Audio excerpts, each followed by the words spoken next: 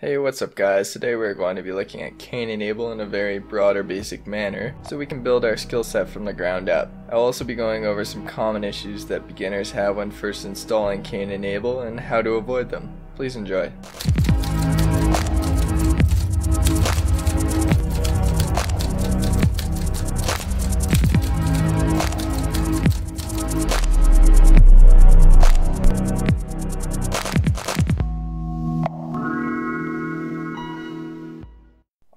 So let's get started with the download first. Um, you're gonna have to search up Kane and Able or go to the download link in the description.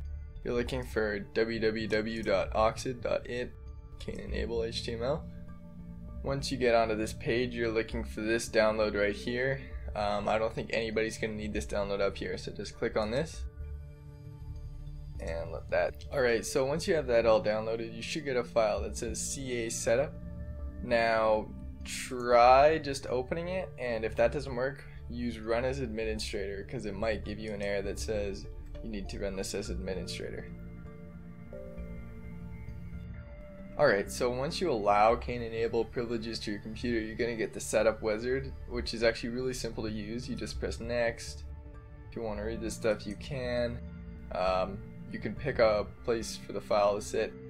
Uh, this is probably the best, best place for it anyways. Just keep pressing next. Now when you press finish, this is very important, make sure you press install. I already have it, so I'm not going to install it again. See if I try to install it, it gives me this. But you should definitely install it or else you're going to have a lot of problems in the future. Alright, so once you have Kane-Enable installed, just simply run it. Uh, the error about Windows Firewall won't be an, a big issue right now, so don't worry about it. But um, this interface may be a little overwhelming at first, but that's okay. I'll talk you guys through it. So th there's quite a few different sections to cover, but the main ones that you'll probably be using are the decoder, which is how you can recover passwords through things like the Windows Vault, through Internet Explorer and all your wireless passwords. Um, the sniffer, which is a big one um, for finding devices on your network, running man-in-the-middle attacks, um, all sorts of things. And then there's the cracker, where you can come and crack all sorts of password hashes. Um, they have quite a few here, like LM and NTLM, MD2, MD4, MD5, SHA-1 and SHA-2. For the most part, Kane-Enable is pretty out of date when it comes to password hashes. Uh, there's a lot better programs that you can use, but it's here just in case you want to play with that. And there's a wireless section here, and uh, the problem with wireless in Kane-Enable is that it was never designed to do anything wirelessly. So everything is based on Ethernet, and so if you don't have an Ethernet connection with your computer, you're gonna have a lot of trouble with Kane, and you might want to reconsider what you're using because it's going to be a huge headache just to get that working. Um, I'm just putting that out there now. Alright, so let's get started with the decoder section. And so the decoder section basically can recover any passwords that you've really entered in on the Windows system. So uh, let's start with wireless passwords actually. And when you click on this box and then press this little blue plus up here, you're going to get all the wireless passwords that you've entered in and any connections that you've connected to. So uh, this is actually a desktop, so I only have one network right here.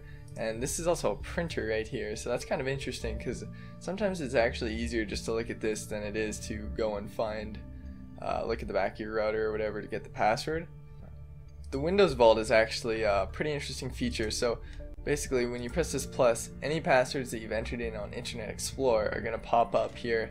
And um, these are obviously just, I don't use Internet Explorer that much, so there's not that many passwords saved, but it's a pretty interesting way of recovering passwords that you may have lost, and it also shows the username, which is super handy. Um, things like the credential manager and stuff, those are going to be uh, system saved passwords that you've entered in. So, as we continue to explore uh, Kane-Enable, let's come over here to the cracker. And so, what the cracker does is we can crack um, all sorts of hashes that they have stored on here, but one really cool feature is that you can, if you just click on this box and press the, the blue button, um, there's all sorts of settings you can tweak here, but just press next, and you'll get the accounts that are on this local machine. And so I have this one account right here uh, set up as Shrek Lover. And um, as you can see, most of these have uh, no password in them, but this one actually does have a password.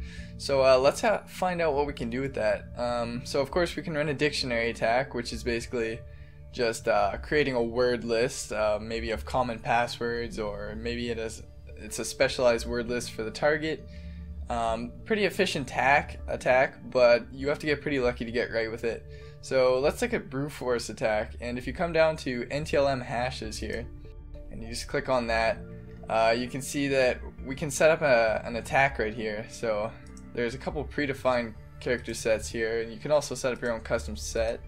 So you could make it whatever you wanted. You, maybe you knew that they had a percent in their thing and nothing else. You could have that.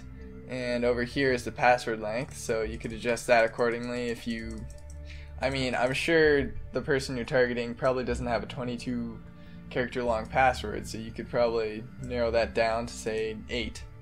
And if you just come over here and press start, you can actually get a timed estimation of how long it will take to brute force all these passwords, which is pretty interesting. So as you can see, if the current password was 8 characters long, it used this character set, it would take about 6 hours to crack.